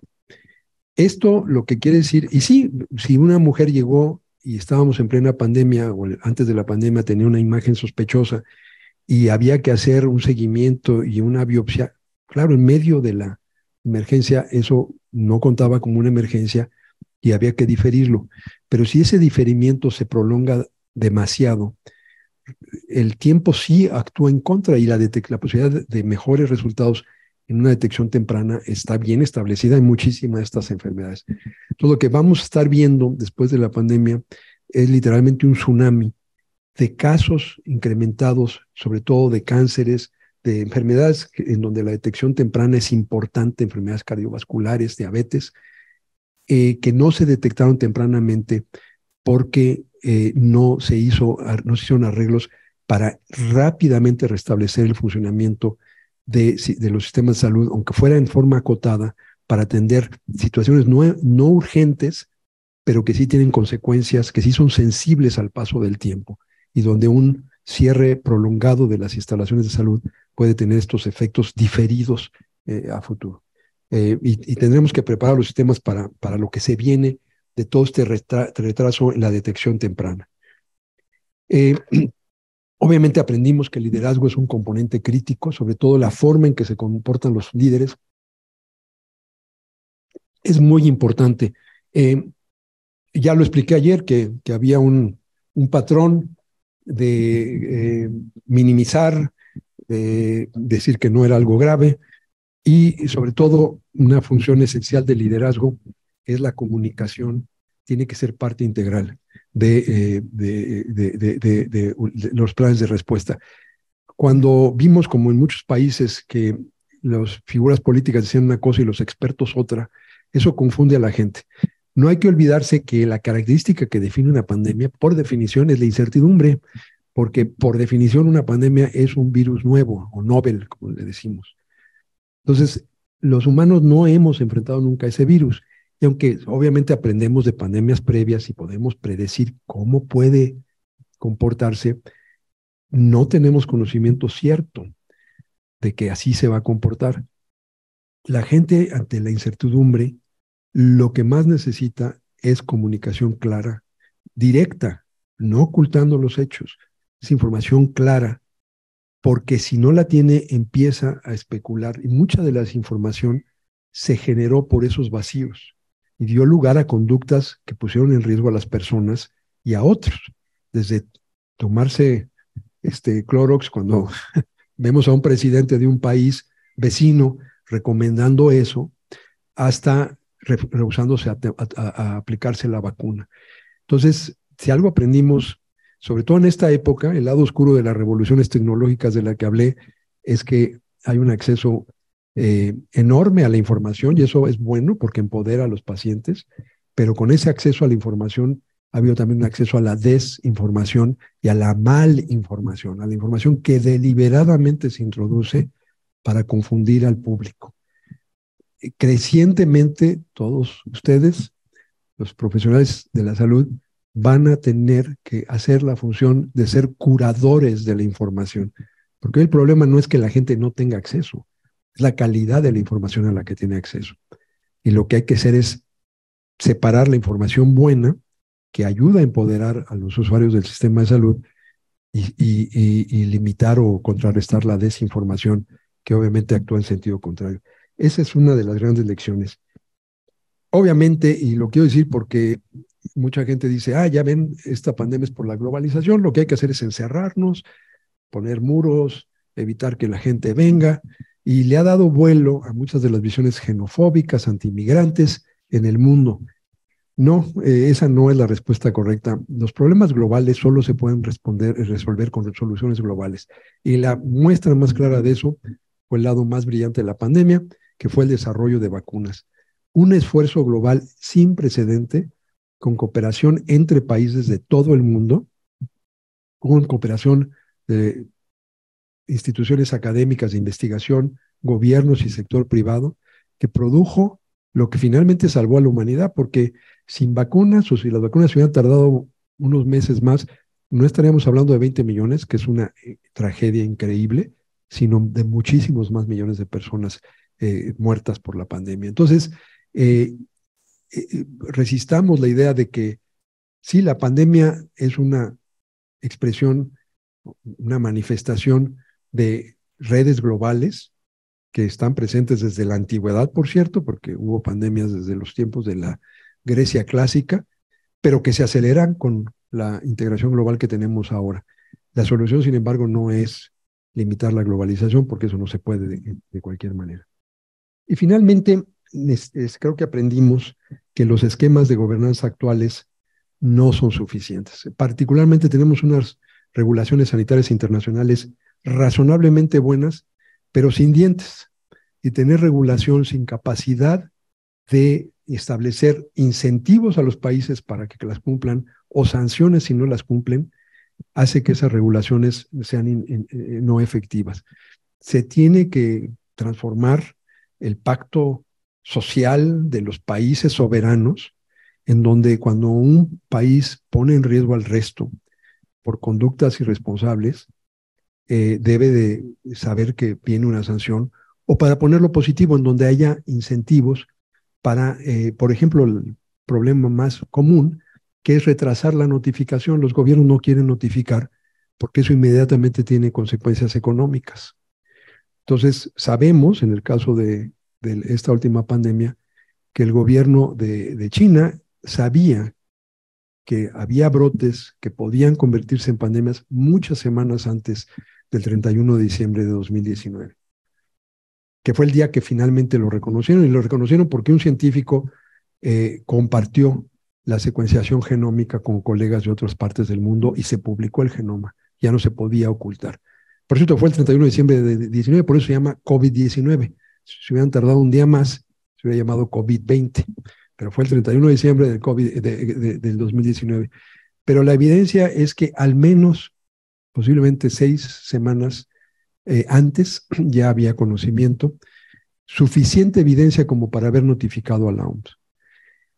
Tenemos que crear y lo voy a comparar con la respuesta de México a la última pandemia de esta, fue la pandemia de influenza eh, del 2009, en donde México prácticamente el día que se recibió la secuenciación que se hizo en un laboratorio de Canadá, ese día notificó. Y a los que estaban aquí vivos en ese entonces, porque aquí veo mucha gente joven, eh, eso le ocasionó a México un enorme daño económico, incluso países que abusaron de esa eh, alerta temprana para, para poner restricciones eh, comerciales, para sacarle ventaja, ¿no? De poner un bloqueo comercial a México para, para ganar posiciones competitivas. Eso también se debía de sancionar. México pagó un precio muy alto, pero gracias a esa notificación oportuna, inmediata, evitó que esa pandemia hubiera sido peor de lo que, de lo que fue, que fue bastante mala, pero nada comparada con la de COVID-19, nada. Y parte, no, no nada más, el virus también era menos contagioso, pero parte de eso fue que hubo una notificación oportuna y temprana. Entonces hay que crear esquemas en donde a los países que actúan honestamente, como fue México en 2009, se les resarza económicamente y de hecho hay una iniciativa de crear una especie de seguro en el Banco Mundial para que cuando un país, cualquier país puede ser donde se notifique el primer, donde surge un nuevo virus, eh, a manera de seguro se le transfieran recursos para que su economía no sufra y así evitar esta tentación a retrasar hasta que llegue un momento. Y al que retrase sí hay que sancionarlo porque no se vale causarle el daño y las muertes al resto del mundo cuando un gobierno actúa irresponsablemente. Esa es quizás la lección y se está discutiendo, como ustedes saben, hay una discusión muy vigorosa sobre un nuevo tratado, eh, un, tratado para el manejo de pandemias a futuro en el seno de la OMS. Eh, son discusiones importantísimas. No nada más hay sistemas nacionales de salud, que es sobre lo que este curso ha sido, hay un sistema global de salud eh, que tiene todas estas instituciones que se encargan de la interdependencia en materia de salud. Y ese sistema, así como los sistemas nacionales se tienen que reformar, los sistemas, eh, el sistema global también lo tiene que hacer. Con esto termino y dejamos un espacio eh, para, de, unos minutos para preguntas y comentarios, ya sea de lo que cubrimos hoy o si les quedó algún tema pendiente de sesiones anteriores. Adelante. buenos días. Martina Espinosa. Un gusto, doctor. Un privilegio escucharlo. Gracias. Me gustaría em, preguntarle sobre sus reflexiones en torno al sistema de salud y un asunto muy puntual, la portabilidad o elegibilidad derivada de la migración tanto interna como internacional. Creo que nuestro país enfrenta esa realidad muy sui generis respecto a otros sistemas. Sí, eh, eh, muy, buena pregunta. Eh, voy a hacer respuestas más breves que ayer porque si no se, se me pasa el tiempo. Este, cuando hablamos de la necesidad de control y de centralización, hay funciones que no se deben descentralizar, porque entonces contribuyen a la fragmentación. Una es la rectoría, que debe ser, estar armonizada, y por eso típicamente es una responsabilidad nacional, aunque las secretarías estatales tienen también una función de ejecutar algunas de las normas de la rectoría. El financiamiento es otro y las reglas de los beneficios y la portabilidad. Tiene que haber portabilidad interna de estos sistemas para que realmente sean universales. Yo daba el ejemplo de cómo uno de los factores que más limitan el crecimiento de la economía americana es que la gente no se puede mover porque en un sistema basado en el empleo, eh, donde no está bien regulado esos seguros y pueden excluir preexistencias, la gente no se cambiaba de trabajo. Por eso, la medida más importante de la reforma de Obama fue prohibir la exclusión de preexistencias de las pólizas de seguro. Y fue la que más controversia le generó obviamente de las aseguradores y lo demandaron, pero se prohibió precisamente porque eso limita la portabilidad. Entonces, sí es importante que haya esquemas nacionales, eh, eh, así como la prestación, sobre todo el primero y segundo nivel, debe estar descentralizada, los financiamientos deben ser nacionales, los fondos deben ser nacionales para garantizar la portabilidad, porque la gente se mueve. Y debe haber en cualquier esquema de estos, como lo había en el Seguro Popular, esquemas de compensación donde si ciudadanos de un estado se atienden en otro, haya posibilidad de que, no estemos algunos estados exportando a sus enfermos a otro, sobre todo en un sistema federal. Esto, estos son temas que los países del primer grupo que vimos han resuelto bastante bien. Otro tema es la portabilidad internacional, esa es muchísimo más compleja y fuera de la Unión Europea, donde hay total portabilidad dentro de los países de la Unión Europea, yo no conozco ningún otro ejemplo. Ha habido programas de seguros eh, transfronterizos en fronteras muy activas. En la frontera México-Estados Unidos, que es la frontera más activa del mundo, ha habido muchas iniciativas. Eh, de hecho, el Seguro Popular tenía un programa para mexicanos residentes en el extranjero, pero solamente para procedimientos de alta complejidad, dentro, financiados por el Fondo de Gastos Catastróficos, porque mucha gente, sobre todo si no tienen papeles, no se van a arriesgar a regresar a México para atenderse una cosa eh, no seria. Pero hubo y se financiaron varios procedimientos de alta complejidad a través de las ventanillas de salud que se crearon en ese entonces en los muchos consulados que tiene México. Pero esa es mucho más compleja por las regulaciones. Típicamente, fuera de emergencias, no, no, no hay tal eh, eh, transportabilidad internacional. Tema separado es el tema de si los migrantes no documentados deben tener acceso. Y la posición ética creo que incuestionablemente dice que sí y que debe estar totalmente fuera del alcance de las autoridades migratorias, pero esa no es la realidad. En la mayoría de los países están excluidos y corren el riesgo de deportación si acuden a un servicio de salud, lo cual verdaderamente es además no solamente violatorio de los derechos de esos migrantes, sino eh, atenta contra la salud del resto de la comunidad, de los no migrantes, porque sobre todo en enfermedades infecciosas eh, eh, impide la detección temprana, impide la, atención oportuna. Pero eso, eso es un tema un poquito diferente. La portabilidad internacional sigue siendo un tema complicado y, y, muy excepcional. Acá habíamos ignorado esta sección y hay un par de preguntas, creo. Ah, perdón. Problema de la visión periférica. Gracias. Eh, Buenos días a todos y buenos días, doctor. A ver, déjenme, encuentro las preguntas. Ok, el primero, bueno, agradecerle evidentemente el, lo que nos está compartiendo, doctor. Y eh, un valor agregado es el que esté usted como una figura pública en un espacio como este, hablando y diciendo lo que comenta, ¿no? Eh, los resultados de los diferentes sistemas y demás.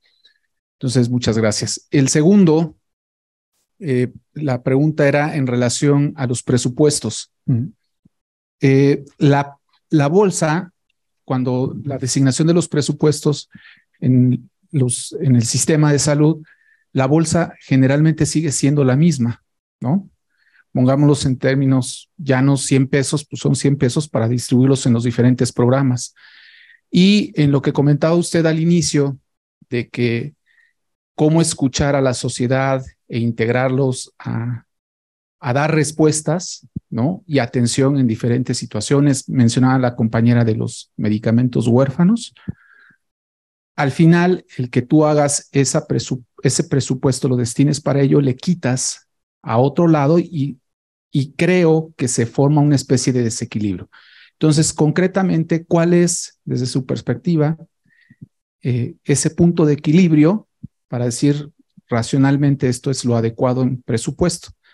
Y la otra era en relación a lo que comentaba a lo último de las sanciones que debe de haber en el sistema global, porque no todo se lo debemos dejar al juicio de la historia. Debe de haber sanciones para quien lo hizo mal. ¿No? Perdón, eso es. No, muchas gracias. Eh, con respecto al, a este, bueno, gracias por su primer comentario y con respecto a la pregunta, la segunda, al segundo punto, eh, sí, el, ese, es el, ese es el meollo del de el gran dilema de, de, la formulación del presupuesto. Los presupuestos son el vehículo que expresa las prioridades de una sociedad.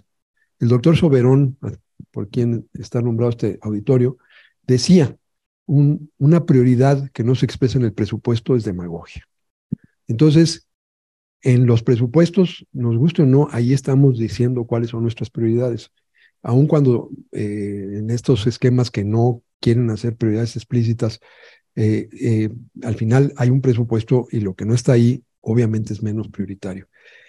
Ahora, son dos cosas separadas. Una es que aún con presupuestos globales, que, como expliqué, quiere decir que antes del inicio se genera y se conoce el monto, eh, eh, la bolsa total, aún en esos presupuestos siempre hay un fondo de reserva para contingencias, emergencias, sobre todo en salud es esencial porque, vuelvo a decir, en salud lo que define los fenómenos de salud es la incertidumbre. Eh, el, hecho de que no sabemos cuándo nos vamos a enfermar o a morir o a sufrir un accidente. Por eso, para eso se inventaron los seguros, para manejar el riesgo que siempre es incierto. Es incierto para un una persona en lo particular, pero es calculable mediante estudios actuariales para una población. Pero aún con los mejores estudios actuariales, el riesgo es una probabilidad y puede haber eventos fuera del intervalo de confianza de ese cálculo probabilístico y siempre todo buen presupuesto tiene un fondo de reserva para contingencias, un fondo de contingencias.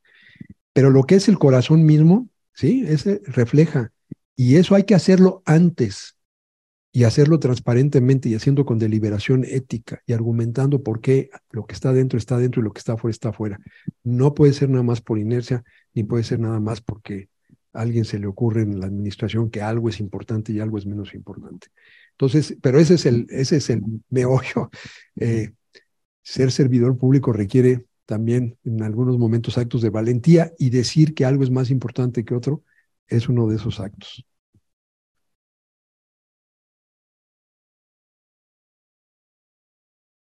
hay varias manos.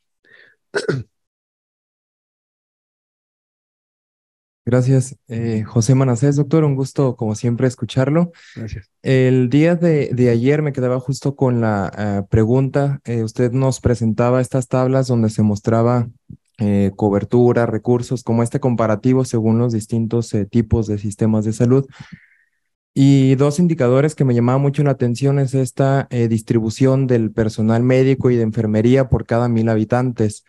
Eh, sabemos que pese a estas diferencias que fueron eh, presentadas, México y sobre todo la región de las Américas, pues presenta esta situación de una distribución desigual del personal de, de salud en general, que limita pues desde luego este ideal de acercar los servicios de salud a, a la población.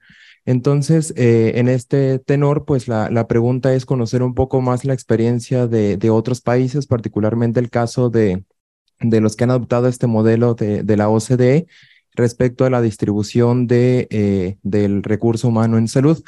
Y lo segundo es un eh, comentario. Veíamos las lecciones de la, la pandemia de COVID-19, eh, recomendarles a, a todos un libro precisamente escrito por, por el doctor desde un lugar de la pandemia, al cual tuve el gusto de acudir a la presentación y la fila en Guadalajara. Gracias. Muchas gracias. Gracias. No fue comercial, ¿eh? pero este, eh, de hecho el libro está agotado, pero estamos ahí viendo, creo que ya hicieron una reimpresión. Eh, pero sí, ese libro narra un poco la experiencia en, que yo tuve en, en, enfrentando la pandemia ahí en la universidad que dirijo ahora y con algunos comentarios, incluyendo este tema último de las sanciones, ¿no? Este, se comenta ya ampliamente, si alguien tiene interés en una visión más profunda de estas lecciones, ahí está.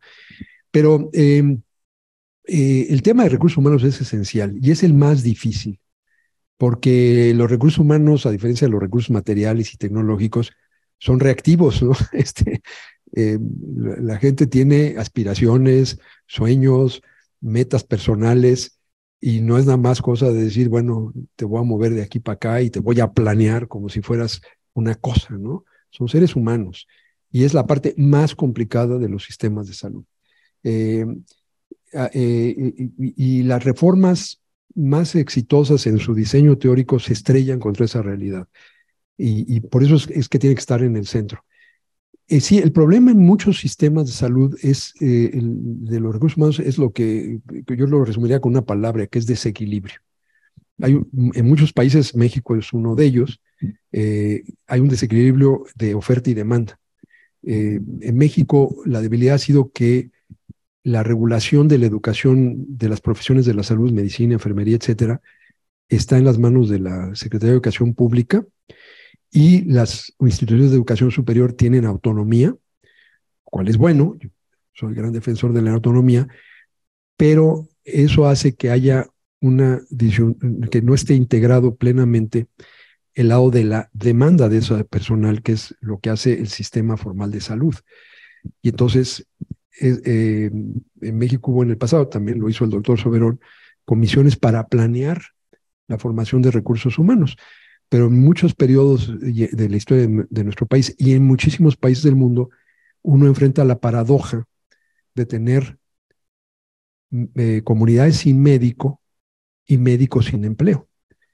Porque las condiciones de trabajo en muchas de esas comunidades remotas, rurales, etcétera, son tan pobres que un egresado que ya tiene un título prefiere estar trabajando en otra cosa, estar subempleado o definitivamente desempleado que trabajar como médico o médica en esas comunidades. Eh, eso hay muchísima experiencia, podríamos tener casi un, curso completo, de hecho me está dando una idea que a lo mejor el siguiente curso lo vamos a hacer solo sobre recursos humanos porque es la parte más importante. Eh, de hecho, mis primeras investigaciones aquí en el, en el CISP original y en el instituto eran sobre el mercado de trabajo de, los médicos, fue el tema de mi tesis de doctorado. Y, es complejo, pero se ha logrado. Los países con más éxito, eh, eh, ha, habido medidas buenas. México, por cierto, fue un pionero con el servicio social obligatorio. Eso lo creó el maestro Ignacio Chávez cuando fue director de la facultad y como rector. Y ese ha sido un modelo que se ha imitado en muchos países pero es parcial, es una solución parcial y es tomar médicos todavía no plenamente formados y mandarlos a las áreas rurales y si no hay supervisión correcta y ahora crecientemente seguridad física, pues se vuelve muy problemático. Pero las medidas más integrales tienen varios componentes. Eh, una importante es una planeación más rigurosa, no estar produciendo más médicos de los que el sistema puede legítimamente absorber, productivamente ofrecer, porque no es justo lo que se le está haciendo es que la institución educativa le está ofreciendo algo, típicamente le está cobrando porque muchas son privadas, pero aunque no estuviera cobrando, está el, joven dedicando ahí su tiempo, su capital vital, lo está invirtiendo en una carrera para la cual no va a encontrar un empleo. Eso, eso no, no creo que sea correcto. Entonces tiene que haber una buena planeación, una buena regulación del número. Segundo, tenemos que cambiar los incentivos y crear trayectorias de manera que, por ejemplo, en un servicio social haya la posibilidad de que ese médico que, o médica que ya está en esa comunidad se quede años y que incluso eso le pueda luego valer para ingresar a una residencia. Nosotros hicimos una propuesta y se empezó a ejecutar, pero creo que no se ha continuado esa, crear trayectorias que incentiven sin la idea de que si me voy a una zona rural, ese es el fin de mi carrera, que es una de las razones yo hice encuestas y la razón más importante que daban los médicos para no querer ir a una zona rural es que lo veían como un callejón sin salida en su desarrollo profesional ulterior. Eh, no era tanto las condiciones, ni siquiera tanto era una cosa de remuneración, aunque eso obviamente influye, era la idea de que se quedaban ahí atorados. Parte de la revolución tecnológica es que ese médico que está en una zona rural o médica eh, de hecho hay que decir médicas porque son ya la mayoría, entonces esa médica que está en zona rural se siente aislada, desconectada. Y en estas revoluciones tecnológicas lo que hoy podemos hacer es crear conexión real y crear carreras profesionales que te permitan eh, eh, pasar por varios eh, escenarios. La tercera medida y muy importante es diversificar el personal de salud muchísimas de las cosas que hoy tenemos médicos o médicas pueden ser llevadas a cabo por personal de salud comunitario.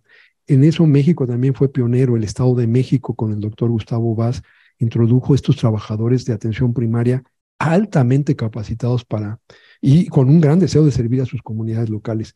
Hay una forma de diversificar. Yo creo mucho en elevar la autonomía de las enfermeras, y tener gente más eh, dispuesta a, estar eh, arraigada en comunidades locales, cubriendo un espacio de práctica que hoy está muy limitado eh, a médicos y que pudiera ser llevado a cabo por una cantidad diferente, especialmente para mí, la enfermería debería tener espacios de autonomía mucho mayores de las que les hemos concedido. Pero es un tema fundamental y, y gracias por, por traerlo a cuento. Por favor. Doctor, muy buenos días. Muchas gracias por estos cuatro días donde nos compartió sus conocimientos. Muy particular en esta diapositiva que tiene usted de la mezcla público-privado. mi única pregunta que tengo así decirles su referencia, su opinión en el tema de la subrogación de servicios. Hoy en día tenemos servicios tan básicos como el tamiz neonatal, que la lectura está subrogada en todo el país, como otros donde tenemos unas carencias y sobre todo esa barrera de no caer en querer subrogar todo, porque luego nos terminan diciendo que estábamos queriendo privatizar el sistema de salud en México. ¿En dónde este sistema, hoy fragmentado en las fuentes de financiamiento, permite decidir hasta dónde terminar de subrogar estas carencias que aún tenemos todavía en algunos de los programas elementales? Sí, lo dice usted perfectamente. La subrogación se ha evolucionado como un curita para tapar las carencias que hay. Y en un sistema fragmentado, bueno, puede resolver, y a mucha gente le resuelve el problema de momento, pero no es la solución sostenible. La solución sostenible es una mezcla donde haya prestadores totalmente certificados, acreditados, que reciban un pago capitado si están en los servicios esenciales, que reciba pago por procedimiento con tabuladores bien, y que en donde puedan haber prestadores públicos y privados, eh, los privados preponderantemente organizaciones sin ánimo de lucro, eh, bien reguladas, financiadas públicamente, lo, que yo, lo que hemos llamado eh, la, la, subrogación cuando es de un servicio puntual, específico, si es un servicio de súper alta especialidad que solamente hay un aparato en el país, bueno, se puede justificar y estoy seguro que ocurre en los sistemas de OSD, pero esta forma en que se hace, por ejemplo, cosas tan fundamentales como la lectura del tamizaje, debe estar estructurado, integrado a la operación regular y no ser medidas de emergencia que, que, que se están implementando para tapar, para parchar carencias. Eh, pero mientras no creamos ese, ese, sistema mucho mejor integrado, pues a mucha gente le resuelve los problemas y, eh, y resuelve carencias que de otra manera preferible, por ejemplo, que el, el IMSS le pague a una persona el servicio que le dio a alguien más, a que forzar a la persona que de todas maneras vaya allá y pague de su bolsillo. Al menos se asume esa responsabilidad, al menos de pagar el servicio, porque si no hubiera la subrogación, la persona seguramente de todas maneras iría y lo tendría que pagar. Pero totalmente de acuerdo, no es la solución estructural de, largo plazo. Son medidas mucho más acotadas mientras no estén ahí eh, estas condiciones, seguirá habiendo esa necesidad. Esperemos que los cambios sean estructurales y de largo plazo. Sí, gracias, doctor. Todos queremos más de estos veranos. A través de la red de contactos llega desde Ciudad de México una pregunta de dos amigos que están escuchándole. Me dicen, por favor, pregunta sobre la regulación sanitaria y la certificación. ¿Cómo visualiza usted eh, en este contexto, sistemas de salud, la estrategia? Gracias. Bueno, gracias por la pregunta, porque son todos temas que pasamos de rápido porque el curso es de duración limitada, pero eh, la regulación sanitaria es fundamental, es una parte, es el corazón de la rectoría. Y hay, eh, lo expliqué muy rápido el primer día, la regulación de, de los servicios mismos, eh, certificación de hospitales, el licenciamiento de los profesionales de la salud, eh, obviamente la regulación de los medicamentos, de las tecnologías, de los equipos, las regulaciones sobre las normas de construcción de unidades de atención, toda esa parte que es lo que llamamos regulación de los servicios de salud. Luego está la regulación sanitaria de bienes y servicios que pueden representar riesgos a la salud, alimentos, agua, etcétera. Es una parte integral. La doctrina moderna de regulación es que deben ser órganos autónomos para evitar eh, estos fenómenos los que mencioné brevemente. Uno, desde luego, la corrupción. Hay intereses económicos enormes involucrados eh, y, es difícil, es, vamos a ponerlo positivamente, es más factible controlar la corrupción en agencias autónomas que crean reglas de operación bien explícitas y transparentes eh, que en grandes organizaciones públicas como serían secretarías o subsecretarías de Estado. Segunda eh, razón es que además de reducir la, la, corrupción, reduce el peligro de, de, politización de la acción regulatoria. Usarla para favorecer a ciertas gentes y no a otras. Lo extrae, lo sustrae de eso. Entonces, las buenas agencias regulatorias tienen típicamente servicios civiles de carrera, que también da certidumbre, reduce buena compensación a los reguladores para evitar las tentaciones, etcétera. Hay, hay, hay, hay claros elementos.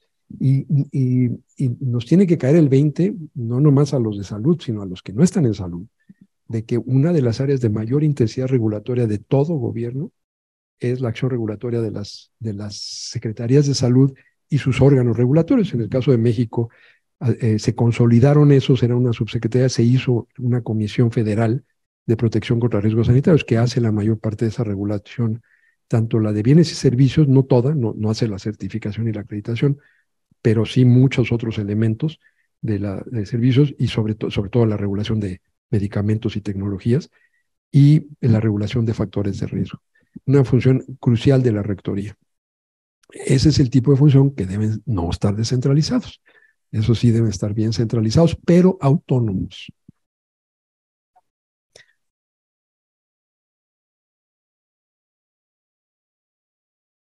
Perfecto. Adelante.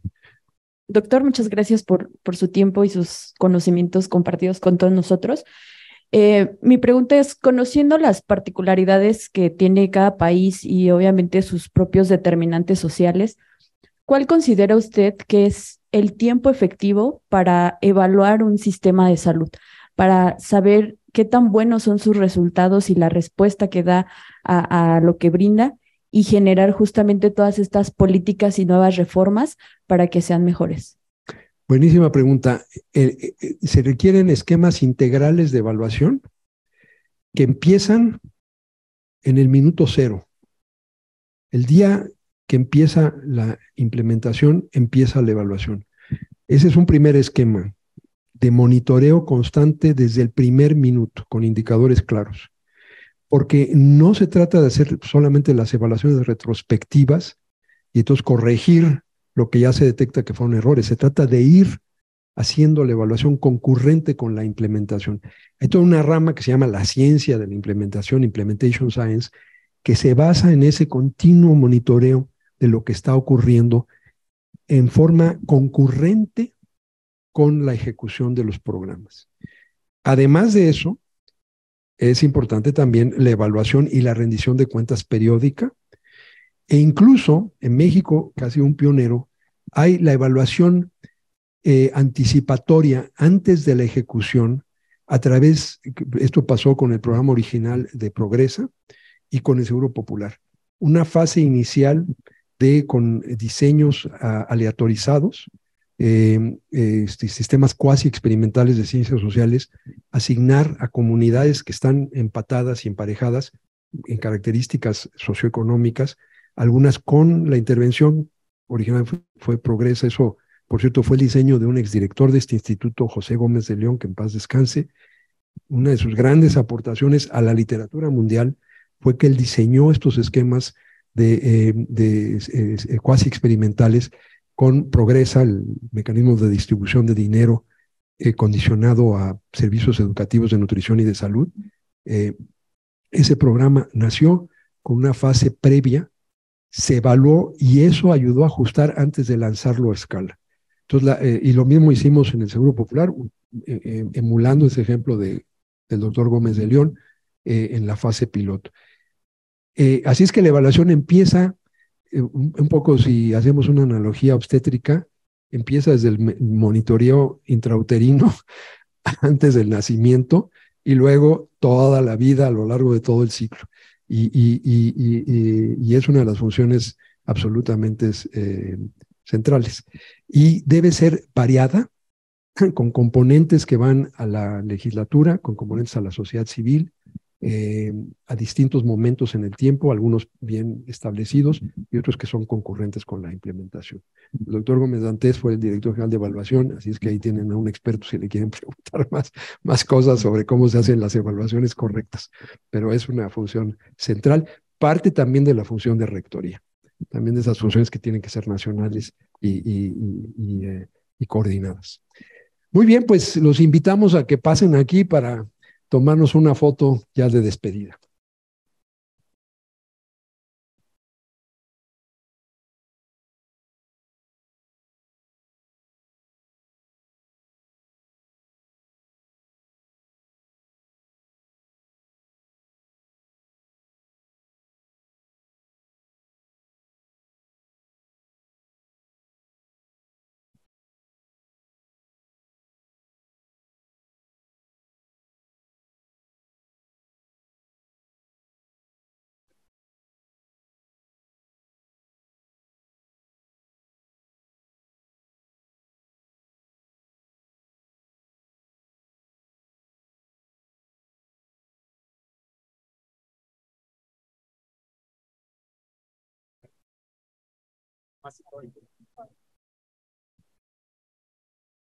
Jacinto, ¿nos ayudas a subir la pantalla, por favor?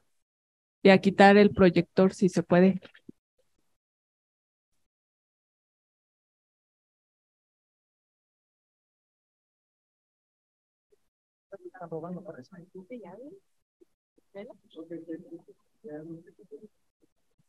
Si se pueden ir un poquito más hacia atrás, por favor, para que, y los más altos hasta atrás, para los más bajitos.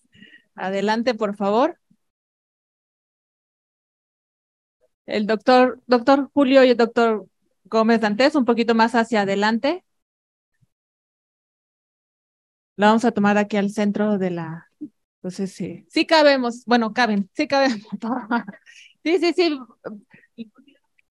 Ah, eh, ¿Dónde lo.? ¿Alguien olvidó este? Aprovechando. Bueno, aquí lo voy a dejar si alguien es. Sí, algunos se pueden sentar como toma de o acostar, exacto. Sí, para que todos estén en la foto. Listo. ¿Eh? Ah, sí, se puede decir. Muy bien. Y nos ayudan a quitar la pantalla. Ahí vamos, ahí vamos. Ahí. Ay, no manches, es de acá, ya no. Medio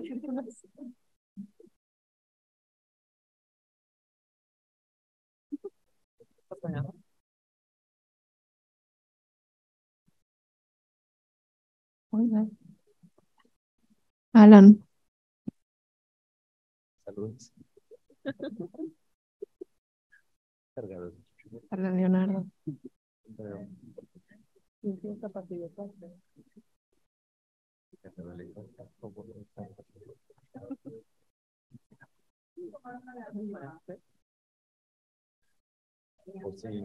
Pues sí. Digo.